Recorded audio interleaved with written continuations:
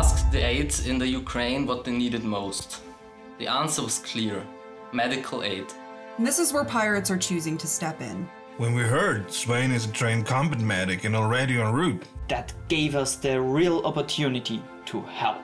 Svein will also provide regular updates on which supplies were acquired, where they were distributed, as well as updates about the situation and what he witnesses on the ground. Everyone on this project is working for free and on voluntary basis. All donations go into our deliveries. Pirates are always transparent. You can follow all donations and transactions on our website. Together, we can give hope to people. Stand for peace. For more information on the Pirates for Ukraine Fund and how to donate, visit our website. Piraterna für die Ukrainer. Ukraine is under pirates. Piraten voor Oekraïne. Piraten für Ukraine.